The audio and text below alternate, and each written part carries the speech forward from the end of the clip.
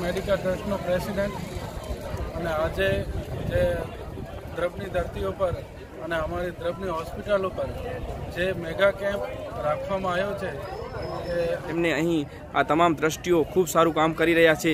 તો આવા જ આપણું આજનું આ દ્રબ હોસ્પિટલ બહુ સારું કાર્ય કર્યું અને ખૂબ સારા દર્દીઓને જે લાભ પણ મળ્યો તે બદલ રફીકભાઈ ઇન્ટરવ્યૂ આપ્યા બદલ આપનો ખૂબ ખૂબ આભાર. લગતા દરેક કેસ મને અહીંયા વધારે જોવા મળ્યા.